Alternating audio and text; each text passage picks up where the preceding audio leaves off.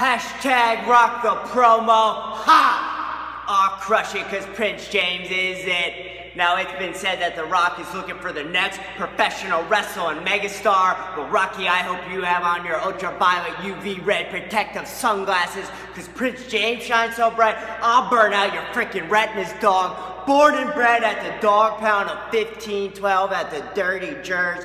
I'm as rude as Rick. I'm a nature like the nature boy. Woo! I excellently execute like Bret, and I hope all you other humanoids just realize you're now competing for number two. Just don't bring your girl to the ring, cause I blow kisses. Prince James, bitch.